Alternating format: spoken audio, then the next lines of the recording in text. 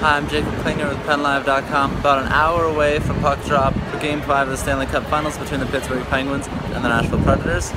Now, we all know that if one truly wants to drown in alcohol in Pittsburgh and watch a Penguins game, the south side of the city is the best place to do it. However, we will take you on a brief tour through three near PPG, PPG Paints Arena bars. Coming up here on the right is the Super Bowl, which in addition to having a more football themed fun, is known for its mushroom burgers according to Yelp.com reviews.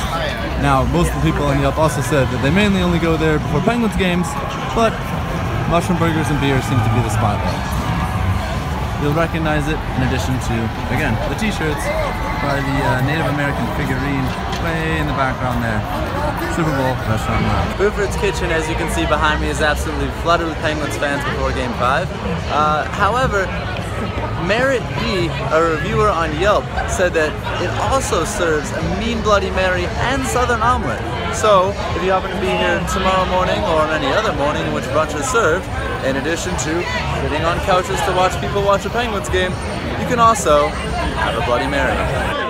I don't know if you can see it behind me, but there are actual clouds of smoke in front of Shale's Cafe, which is probably the most authentic place to drink or eat or just hang out with friends before a Penguins game. And if you aren't satisfied with the food there, it is the diviest of the places.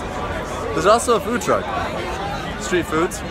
You have options, and you're just two blocks away from the arena, though it is the furthest of the three bars that we profiled before Game 5 of the Stanley Cup between the Penguins and the Predators. We'll be walking back down towards the arena soon to further preview the fan experience here.